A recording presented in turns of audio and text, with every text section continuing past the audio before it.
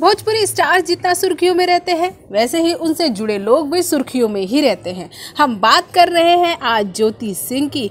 जी हाँ पवन सिंह की पत्नी ज्योति सिंह। उन्होंने अपने इंस्टाग्राम अकाउंट पर हाल ही में एक वीडियो पोस्ट किया, जिसमें एक गाना बज रहा है, फूलों का, तारों का सबका कहना है, एक हज़ारों में मेरी बहना है। और इस वीडियो में ज्योति सिंह अपने फ़ोन पे कुछ कर रही हैं।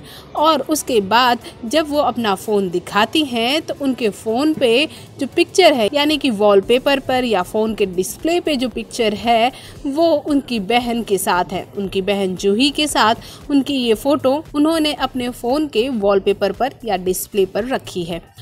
अब फैंस उनसे ये सवाल कर रहे हैं कि अपने फ़ोन पर पवन सिंह की फ़ोटो यानी कि फ़ोन के डिस्प्ले पर पवन सिंह की फ़ोटो क्यों नहीं रखी है आपने? वैसे आपको बता दें कि पवन सिंह भी अपने फ़ोन के डिस्प्ले पर अपनी पत्नी की फ़ोटो नहीं रखते। अपनी या अपनी पत्नी की फ़ोटो वो बिल्कुल नहीं रखते। वो तो या फिर अपनी माँ की रखेंगे, या फिर हनुमान जी की।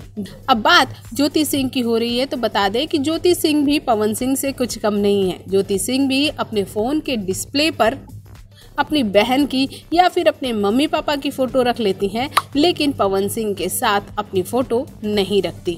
वैसे, सोशल मीडिया पर ज्योति सिंह काफ़ी एक्टिव रहती हैं तो इसलिए उनके हर एक मूवमेंट का लोगों को पता चलता रहता है। और बात करें इंस्टाग्राम फेसबुक पे तो उनके फॉलोअर्स भी बहुत ज़्यादा हैं। ज्योति सिंह के अलावा कोई भी स्टार वाइफ सोशल मीडिया से इतनी नहीं जुड़ी है, जितना ज्योति सिंह जुड़ी है। भोजपुरी जगत की हॉट और मसालेदार गॉसिप के लिए हमें सब्सक्राइब करना बिल्कुल ना भूलिए।